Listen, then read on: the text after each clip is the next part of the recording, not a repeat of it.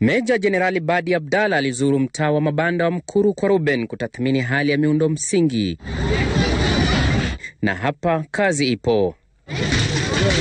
Changamoto kubwa kwake ni ufadhili, kwani hazina ya NMS haina chochote. Haya yote yakisababishwa na hatua ya gavana wa Nairobi Mike Mbuvi Sonko ya kukataa bajeti ya ziada iliyopendekezwa. Most of the concerns that the governor has been highlighting all through, especially the illegalities, uh, these are some of the issues that are uh, the reasons why the governor still maintains if people are not able to operate within the confines of the law, and if people are not able to follow through the provisions of the deed of transfer, the governor will have no problem at all to conclude the process of withdrawing from this particular uh, contractual engagement. As far as development is concerned, we are the national government, so we use the various ministries, their budgets to help us continue with our devel development while the legal tussle is being handled.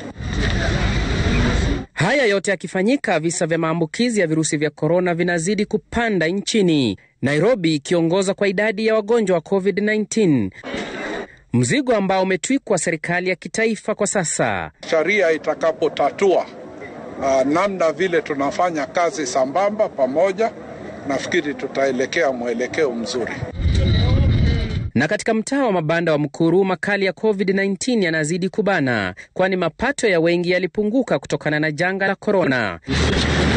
Na msaada wa vyakula uliozinduliwa na Waziri Fred Matiang'i juma lililopita, angalau kukidhi mahitaji yao haujawafikia. Hiyo chakula tunaiona tu kwa TV, tujue yenyewe iko wapi. Disi wetu tunamuuliza chakula yetu ilienda wapi? Tunataka chakula ya Mkuru, watu wanalala njaa. Wezi weka, wezi weka chakula kwa ofisi na watu wanalala njaa na, na, na walinyanyasana kwa TV. Tunahitaji chakula yetu ifike kwa, kwa, kwa ground.